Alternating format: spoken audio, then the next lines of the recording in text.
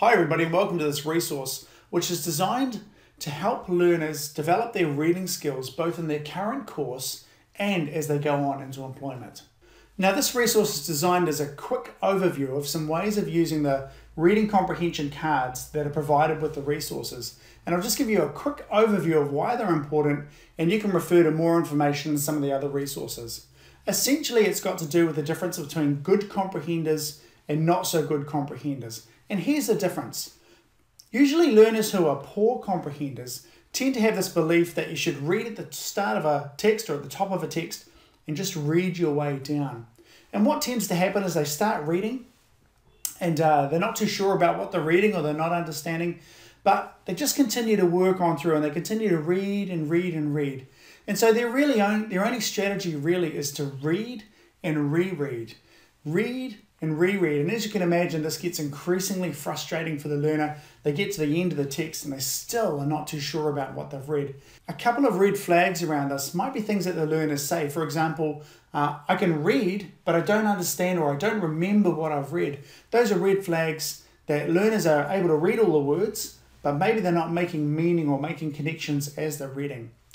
In contrast, think about what a good comprehender does.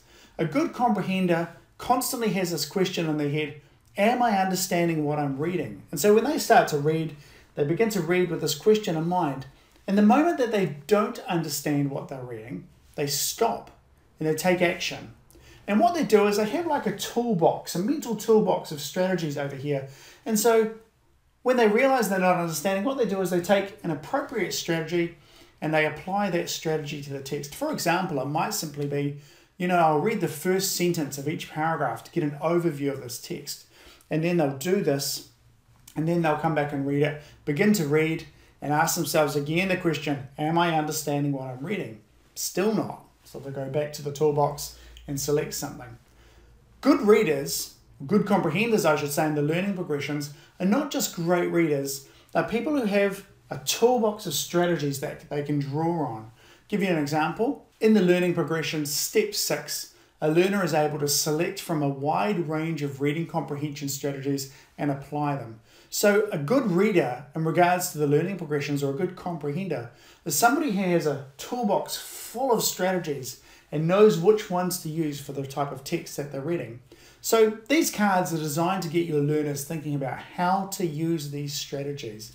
There's really two things that you need to do uh, to get learners using strategies in their reading. The first thing is to convince them that great readers use strategies. Number two is to get them to actually start using and applying the strategies and working them into their reading. And both of these are very challenging. So the question is what are the strategies that good learners or that good readers use and that poor readers don't use? Well, just to rearticulate this again, poor readers tend to have one strategy, that's the start at the top, and work their way down and read and reread. That's pretty much it. In contrast, there's a range of strategies, and these are behaviors or actions that readers can take to help them really understand what's going on in that text. And these might include things like reading the first sentence of each paragraph, for example, which is a topic sentence.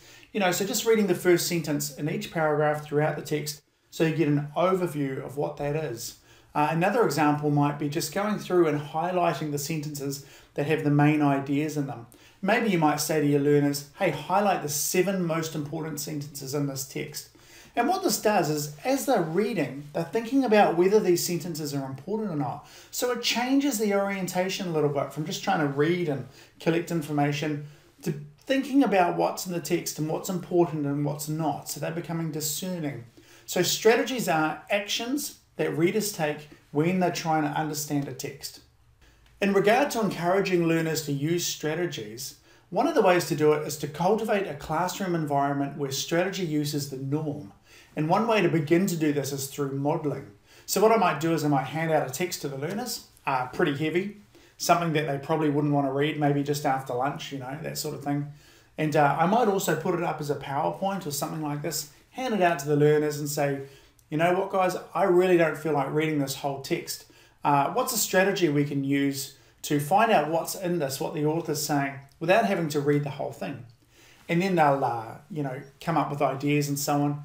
And I might have introduced a strategy such as reading the topic sentence. of each paragraph, which gives you the main idea usually of each of those paragraphs. So I might just put that out to them. Hey, how about we just read the first sentence of each paragraph and, uh, and then we'll see where we go, see if that gives us enough information. Now, the learners are very happy to do this because they really don't want to read that whole thing. And so we do that. So we just read the first sentence of each paragraph. And I might model it on the board if it's there. And uh, once we've read the first sentence of each paragraph, then we have a discussion about what's in the text. Hey, what was it all about? What's the author trying to say? And let the learners have discussion and so on about what that is. What tends to happen is that there are some areas where we want to find out more information. There's a bit of a debate in the class. And so what we can do then is go back and read a couple of specific paragraphs in depth. So we won't read the whole thing. We'll go back and we'll look at maybe one paragraph and we'll read that very, very carefully. We'll read the main idea, the topic sentence, and then we'll look at the author's supporting details in that paragraph, and then we'll talk about that as well. Now, a lot of learners think that this is kind of cheating, you know, uh, but I'm always telling them, and this is part of cultivating that classroom environment of strategies, this isn't cheating, this is being strategic. Good readers are strategic. We're using our energy in the right place. So we're not being lazy, we're not cheating. What we're doing is we're using our resources in the right place. So that's one way that I've begun to introduce using strategies into classrooms. In regards to getting learners to using strategies and getting them familiar with the strategies, what I've done in the past is use a pack of cards, put them in the corners of the rooms, and asked groups of learners to go and get a pack.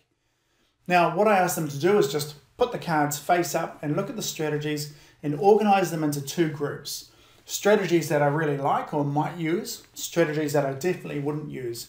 And this is okay. What you'll find is the groups will uh, quickly put things into the uh, won't use it category quite clearly. And usually these are things that they're unfamiliar with or they just seem a bit weird to them. But what you'll get is you might get three or four over here that they do like. And you'll also find when you have a discussion about this that everybody has got something different. This is great. So what you want is you want your learners to become discerning about which strategies they like and which they don't. And so the idea is that each group would maybe have three, four strategies that they really like to use, and then we can begin to apply. And so we'll just pick one of those strategies. Usually, um, you know, reading the first sentence of each paragraph is one that pops up. It's a nice, easy one. It reduces the workload for the learner, so they tend to all like that. So we might just begin to use that and apply that to our daily reading as we go. We might do that for a week, a couple of weeks, before we introduce a new one. But the idea is that toolbox now has one strategy in it. Read the first sentence of each paragraph, and we want to get more and more strategies in there that the learners can use. The second way that I use the cards is I'll hand out a text to the learners that they need to read. And perhaps we're going to read through this um, and then have a discussion about it. So we're going to be doing some learning from reading. The learners will have the pack of cards on their deck, and the idea is that they select two straight off the top without knowing which they are, turn them over and look at them. They have the option of either selecting one of those two cards and applying them, and the whole group has to use them, or if they don't like those strategies, they can go for a third, flip over the third. However, if they choose to take a third card, they have to do the strategy that's on the third card and apply it to that text.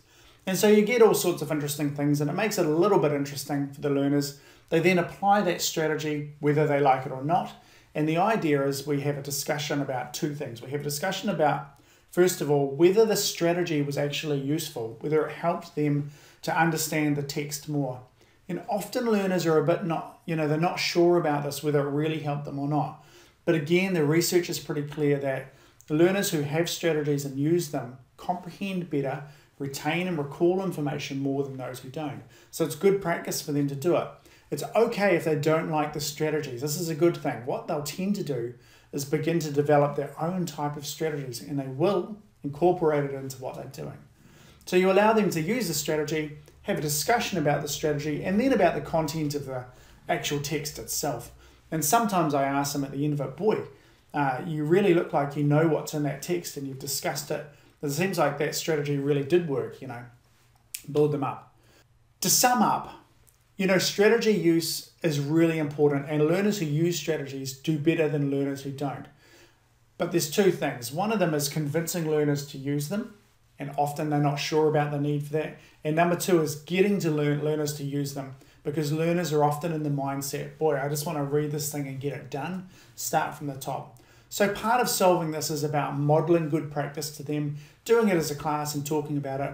And the strategy cards a really useful sort of tool in your arsenal for helping them do this. So, wish you all the very best. Good luck.